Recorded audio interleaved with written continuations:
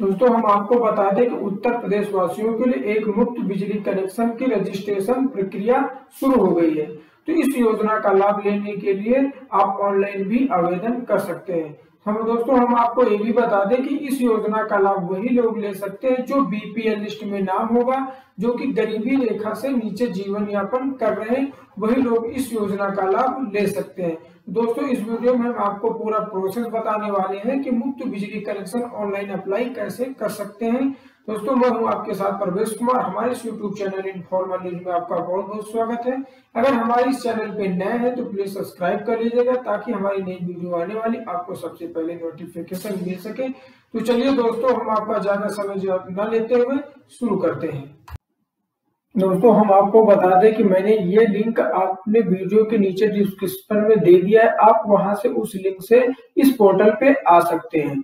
तो फ्रेंड्स जैसे आप वहाँ पे क्लिक करेंगे तो आपके सामने कुछ ऐसा डिस्प्ले होके आ जाए जैसे कि आप देख रहे हैं। फ्रेंड्स मैं शुरू करते हैं कि आप कैसे ऑनलाइन अप्लाई करना है। तो यहाँ पे आपको डिस्काउंट नेम आपको यहाँ पे सिलेक्ट करना है, जो आपको विद्युत वितरण जो केंद्र होता है वो आपको यहाँ पे सिलेक्ट कर लेना है। तो मैंने विद्युत वितरण सिलेक्ट कर लिया है। उसके बाद आपको यहाँ पे दूसरा सिलेक्ट का ऑप्शन आ जाता है, जहाँ पे आपको डिवीज़न यहाँ पे सिलेक्ट करना है। जो आपके नजदीकी, जो आपकी केंद्र होगा, वो आपको यहाँ पे सिलेक्ट कर लेना तो मैंने अपने जो नज़दीक है, वो सिलेक्ट कर लिया है। फिर उसके बाद आपको एसडीओ ऑफ़िस का नेम सिलेक्ट कर लेना है, जो आपके यहाँ पे एसडीओ का ऑफ़िस का नेम ओपन होके आ जाए तो यहाँ पे आपको सिलेक्ट कर लेना है। सिलेक्ट कर लेने के बाद आपको यहाँ पे कंज्यूमर टेप का ऑप्शन मिलता है। तो यहाँ पे आपको कंज्यूमर सिलेक्ट ऑप्शन में क्या करना है? यहाँ पे आपको तीन ऑप्शन मिलते हैं, एक तो अदर का मिलता है और डिपार्टमेंटल का मिलता है और बीपीएल का है। तो मैं यहाँ पे अपना बीपीएल का सिलेक्ट कर लेता हूँ फ्रेंड्स सिलेक्ट करने के बाद यहाँ पे आपको लोड के किलो वाट का ऑप्शन मिलता है तो यहाँ पे आपको एक किलो वाट का ऑप्शन को सिलेक्ट कर देना है। सिलेक्ट करने के बाद फ्रेंड्स यहाँ पे आपको सबमिट का ऑप्शन पे आपको क्लिक कर देना है। जैसे आप क्लिक करेंगे तो आपके सामने कुछ ऐसा फॉर्म ओपन होके आ जाएगा, जैसे कि आप देख रहे हैं।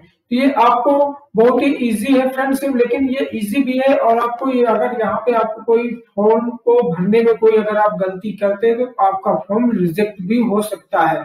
तो फ्रेंड्स अगर आपको नहीं पता तो आप किसी दूसरे से भी भरवा सकते हैं तो क्योंकि ये फॉर्म आपको बहुत सही तरीके से फिल करनी होगी। तो फ्रेंड्स मैं आपको जो इम्पोर्टेंट है, मैं आपको बता देता हूँ कैसे आपको फिल करना है। तो यहाँ पे आपको यहाँ पे अपना फ़र्स्ट नेम डाल देना है। उसके बाद यहाँ पे अपना लास्ट नेम डाल देना है। उसके बाद फ्रेंड्स यहाँ पे अपने फादर का नाम, जो आपके पिताजी का नाम है, वो आपको यहाँ पे फिल करनी होगी। उसके बाद आपके जो फादर के लास्ट नेम है, वो भी अगर नहीं है तो नहीं भरना है फ्रेंड्स अगर है तो आप कहाँ पे आपको फिल कर देंगे। उसके बाद यहाँ पे आपको हस्बैंड का नाम या मदर का नेम एक आपको यहाँ पे फिल करना है। अगर आप अगर आप फिल कर रहे हैं तो अपने पिताजी का या अगर आपको इस तीनों में से एक ही फिल कर देनी है फिल करने के बाद फ्रेंड्स यहाँ पे आपको लिखा हुआ है कम्युनिकेशन एड्रेस तो यहाँ पे आपको दो तीन एड्रेस आपको यहाँ पे फिल करना है। तो यहाँ पे आपको एक एड्रेस फिल करने की ज़रूरत है, ज़्यादा नहीं करने की ज़रूरत। तो यहाँ पे आप कम्युनिकेशन एड्रेस पे आपको एक परमानेंट जो आपकी एड्रेस है, वो आपको यहाँ पे फिल कर देना है। फिल करने के बाद फ्रेंड्स यहाँ पे आपको अपना मोबाइल नंबर आपको फिल कर देनी है। फिर यहाँ पे लिखा हुआ इंस्टॉलेशन एड्रेस जो आपका इंस्टॉलेशन एड्रेस होता है फ्रेंड्स ये आपको यहाँ पे जो आपकी घर की एड्रेस है, वो आपको यहाँ पे फिल कर देना है। फिल करने के बाद फ्रेंड्स यहाँ पे लिखा is the permanent address same is installation address जो आपने इस एड्रेस पे अगर आपका सेम एड्रेस है तो आपको यस कर देना है। अगर नहीं है तो फ्रेंड्स आपको नो पे टिक कर देना है। अगर है तो आपको यहाँ पे, आपको जो यहाँ पे टाइप करेंगे वो आपको सामने, यहाँ पे आपका पूरा जो भी आप नो पे करेंगे तो आपका जो पूरा परमानेंट एड्रेस है वो आपको यहाँ पे ओपन होके आ जाएगा। उसके बाद फ्रेंड्स मैं आपको बता दूँ यहाँ पे आपको प्लॉट साइज़ जो आपकी मीटर है, वो भी यहाँ पे आपको फिल करनी होगी और कवरेज एरिया जो आपको स्क्वायर फीट मीटर्स होते हैं, वो भी आपको यहाँ पे फिल करनी होगी। फिर करने के बाद आपका जो टाउन है, नाम है, वो भी आपको और यूनिट किलो वाट जो आपकी यूनिट है, वो भी आपको एक किलो वाट यहाँ पे फिल कर देंगे। उसके बाद यहाँ पे पर्पज ऑफ़ सप्लाई यहाँ पे आपको डोमेस्टिक सप्लाई पे आपको सिलेक्ट कर देना है फ्रेंड्स उसके बाद यहाँ पे लिखा हुआ connection point connection point single point पे आपको सिलेक्ट कर देना है। तो यहाँ पे एडजस्टिंग काउंट नंबर यहाँ पे आपको फिल कर देना है। एडजस्टेंट एडजस्टेंट अकाउंट नंबर उसके बाद यहाँ पे आपको फ्रेंड्स अगर आप शहरी क्षेत्र है तो आपको अर्बन कर सिलेक्ट कर देना है। अगर आप ग्रामीण क्षेत्र है तो आपको रूरल सिलेक्ट कर देना है। सिलेक्ट करने के बाद फ्रेंड्स आपको यहाँ पे अपनी ईमेल आईडी फिल कर देनी है। फिल करने के बाद यहाँ पे आपको जो यहाँ पे फिर उसके बाद यहाँ पे do you want to give processing detail तो यहाँ पे आपको जो अपनी डिटेल दे रखी है, वो आपको यहाँ पे आपको एक डिटेल आपको देनी पैन कार्ड या पासपोर्ट या राशन कार्ड या आधार कार्ड या वोटर आईडी कार्ड इसमें से कोई एक आपको आधार कार्ड इसके साथ फिल करनी होगी। तो मैं यहाँ पे जैसे मान लो कि आपको राशन कार्ड फिल कर देना है।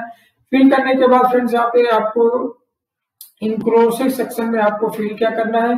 अगर आपको ओनर कंसेंशन लेटर है तो आपको यस कर देना है, आपको यहाँ पे यस ही रहने देना है।